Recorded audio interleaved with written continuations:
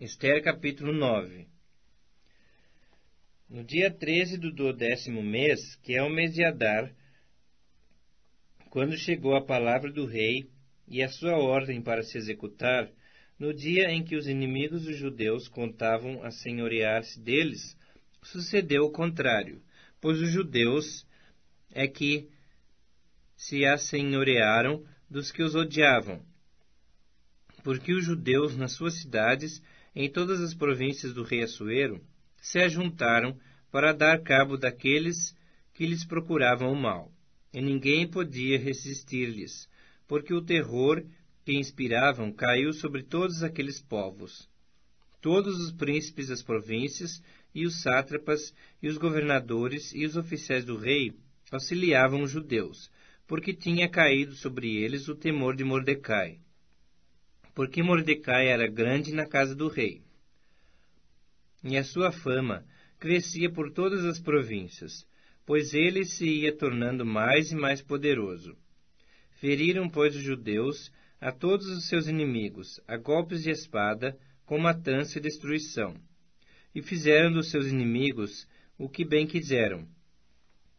Na cidadela de Suzã, os judeus mataram e destruíram quinhentos homens, como também a Parsandata, a Dalfon, a Aspata, a Porata, a Adalia, a Aridata, a Farmasta, a Arizai, a Aridai e a Vaisata, que eram os dez filhos de Amã, filho de Amedata, o inimigo dos judeus, porém no despojo não tocaram. No mesmo dia foi comunicado ao rei o número dos mortos na cidadela de Suzã. Disse o rei à rainha Esther: Na cidadela de Suzã mataram e destruíram os judeus quinhentos homens, e os dez filhos de Amã. Nas mais províncias do rei, que terão eles feito? Qual é, pois, a tua petição? E se te dará. O que é que desejas ainda? E se cumprirá. Então disse Esther: Se bem parecer ao rei, conceda-se aos judeus que se acham em Suzã que também façam amanhã, segundo o edito de hoje, e dependurem em forca os dez filhos de Amã. Então disse o rei que assim se fizesse. Publicou-se o edito em Suzã, e dependuraram os dez filhos de Amã. Reuniram-se os judeus que se achavam em Suzã, também no dia 14 do mês de Adar, e mataram em Suzã a trezentos homens, porém no despojo não tocaram. Também os demais judeus que se achavam nas províncias do rei se reuniram e se dispuseram para defender a vida, e tiveram sossego dos seus inimigos. E mataram a setenta e cinco mil dos que os odiavam, porém no despojo não tocaram. Sucedeu isto no dia treze do mês de Adar. No dia quatorze descansaram. E o fizeram dia de banquetes e de alegria os judeus, porém, que se achavam em Suzã, se ajuntaram nos dias 13 e 14 do mesmo, e descansaram no dia 15, e o fizeram dia de banquetes e de alegria. Também os judeus das vilas que habitavam nas aldeias abertas fizeram do dia 14 do mês de Adar dia de alegria e de banquetes, e dia de festa, e de mandarem porções dos banquetes uns aos outros.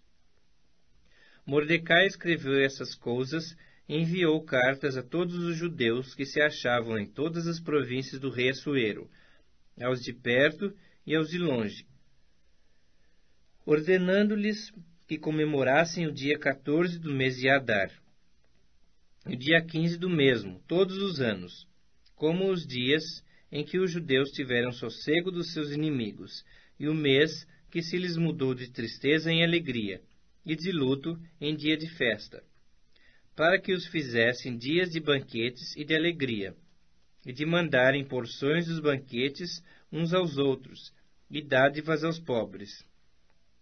Assim os judeus aceitaram como costume o que naquele tempo haviam feito pela primeira vez, segundo Mordecai lhes prescrevera.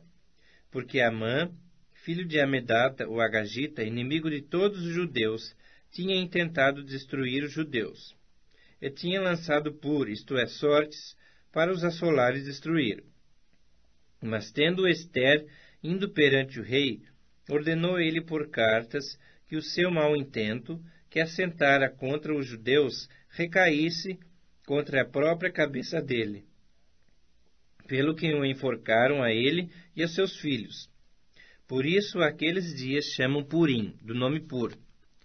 Daí, por causa de todas as palavras daquela carta e do que testemunharam, e do que lhes havia sucedido, determinaram os judeus, e tomaram sobre si, sobre a sua descendência, e sobre todos os que se chegassem a eles, que não se deixaria de comemorar esses dois dias, segundo o que se escrevera deles, e segundo o seu tempo marcado, todos os anos, e que esses dias seriam lembrados e comemorados geração após geração, por todas as famílias, em todas as províncias e em todas as cidades, e que esses dias de Purim jamais caducariam entre os judeus, e que a memória deles jamais se extinguiria entre os seus descendentes. Então a rainha Esther, filha de Abiail, e o judeu Mordecai escreveram com toda autoridade, segunda vez, para confirmar a carta de Purim. Expediram cartas a todos os judeus, a cento e vinte e sete províncias do reino de Assuero, com palavras amigáveis e sinceras, para confirmar esses dias de Purim nos seus tempos determinados, como o judeu Mordecai e a rainha Esther lhes tinham estabelecido, e como eles mesmos já o tinham estabelecido sobre si e sobre a sua descendência, acerca do jejum e do seu lamento. E o mandado de Esther estabeleceu estas particularidades de Purim, e se escreveu no livro.